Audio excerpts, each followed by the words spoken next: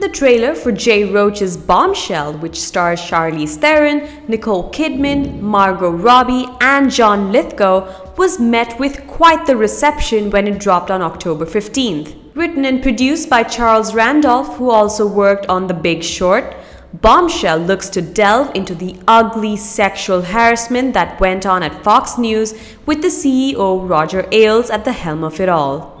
Incidentally, Bombshell won't even be the first piece of TV or film to look at Roger Ailes' scandalous turn at Fox. Earlier in 2019, Showtime's As the Loudest Voice explored exactly that as it looked into Roger Ailes' troubling but visionary personality as he abused the employer-employee imbalance and engaged in sexual harassment on multiple counts. Russell Crowe plays Ailes in The Loudest Voice, laid heavy with prosthetics and makeup. But the show, despite the luxury of seven episodes to tell its story, managed to paint Roger Ailes as a one-dimensional character and his primarily power-hungry personality. After all, the story of Fox is intricately linked with Roger Ailes' own story, given that he managed to create a network that stood through many a massive newsbreak. While the New Yorker magazine describes the series as a pungent profile of a nauseating figure, The Guardian argues that the show missed the bigger story and painted such a one-dimensional image of a megalomaniac that it is hard to even see Ailes as the visionary he undoubtedly was.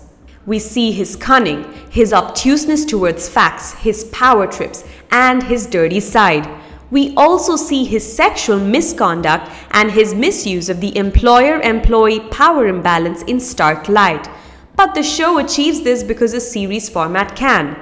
Bombshell, on the other hand, has only 108 minutes at its disposal to tell the story with the simplicity and authenticity that it deserves, which begs the question. Will it be able to cover the story of Roger Ailes and Fox and do them justice? The answer is simple and lies in the trailers and teasers we've seen thus far. Bombshell is a film that's really more about the women involved than the man that drove them to this breaking point.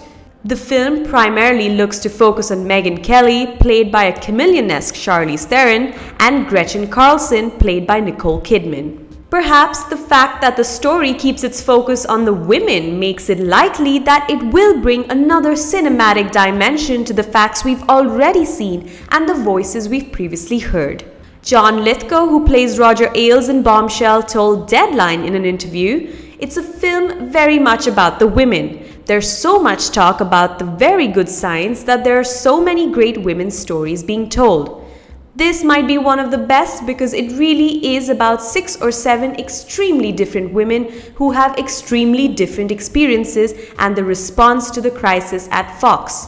I play the crisis. Well, it now remains to be seen if the crisis and its response are given their due on screen when Bombshell releases on the 20th of December. Thanks for watching. If you like this video, be sure to check out all our other content too and don't forget to subscribe.